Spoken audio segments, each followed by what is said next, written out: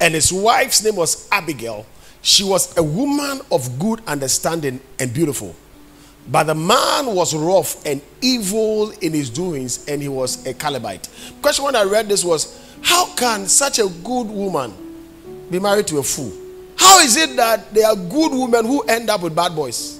How is it that there are good guys who end up with very foolish women? As a pastor, one of the questions people ask me is, how do I know I am choosing the right partner? Or how do I know that the one I am choosing is eventually going to help me? And the truth is that many of us, when it comes to choosing a life partner, we look, consider bedroom compatibility. The fact that the person can fire on the bed. And we forget about other things. So, for many people, what they do is that they marry for pleasure and not for purpose. The essence of marriage is not only for pleasure but also for purpose. How would you feel if the person you have married can only satisfy you in bed but cannot support your vision? How would you feel if the person you have married is very good in bed but is very foolish? And so there are a lot of women who are in relationships and they are not able to come out because the guy is very good in bed, but they know the guy is very foolish. And one thing that I have that that amazes me. I put a survey on Facebook and asked women, why are you attracted to bad boys? Then some of the answers that came surprised me. Some said, ah, the, the, the, good boys are too dull. They are too spiritual. I want a guy who is a bad boy in the bedroom. You'll be surprised that a girl can break up with you because you are too good for her.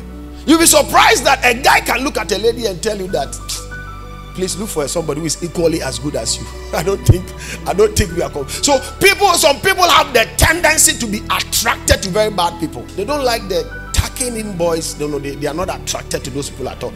And sometimes you realize it when it is too late. When you have already put yourself or your head in it and you don't even know how to come out. And such was the story of Abigail. The Bible describes her as a woman of good understanding very beautiful woman, yet married to a fool. What made Abigail choose such a foolish man? And when the Lord has done all the good things He has promised you and has made you king of Israel, and when the Lord has blessed you, say, please do not forget me. When oh, Abigail worry you, but only Bema for. It shows me probably that that was a character. She loved men of influence. Okay, there are women who love men of influence ɔnhwɛ once the person is in an influential position she's okay with it. She doesn't talk about think about the character of the person.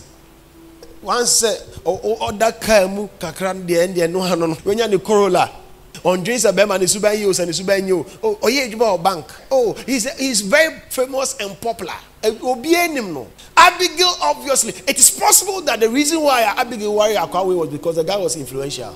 Anaasɛ bi owuska to the point that even sɛ bɛrima ne start sɛ ɔgyi bi no ɔka kyerɛ david sɛ david sɛ nyame hyira wa kae me strong times you be surprised why bad girls get good guys and good girls get bad boys?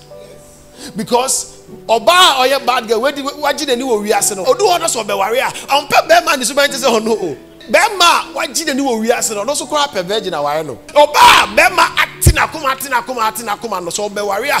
Time. Ɔsan mmaa no na ɔmo nya bɛrima a ɔmo ɔmo yie no. Then david sent a proposal of marriage to abigail. Obi a ne ɛno ano. A servant went eh, to her at carmel and said to her david sent us to take you to to be with him as his wife. Abigail bowed to the ground and said, I am his servant, ready to wash the feet of his servant. She rose quickly. She threw away the mourning cloth and mounted the donkey. Accompanied by her five mates, she went with David's servant and became his wife.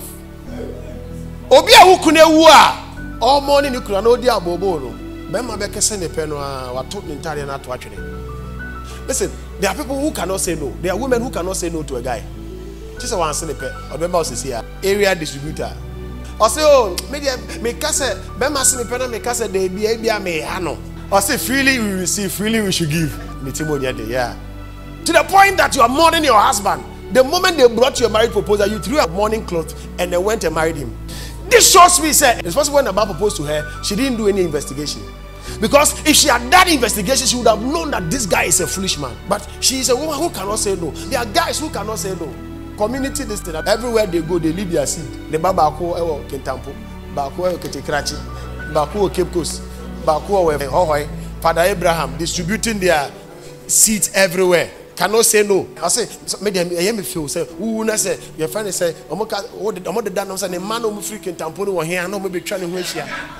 And an man free ho ho no here for ha water for naba. And then asante for no, ha na one bobra, you're a fool. Listen, if you are here, if you if you know how to control your sexual desires, 80% of your problems in this life are solved. If you are here and you know how to say no, about 90% of your issues are solved. Obi David. Abigail should have told David that David, ah, David, what's more dean? But let me mourn my husband small.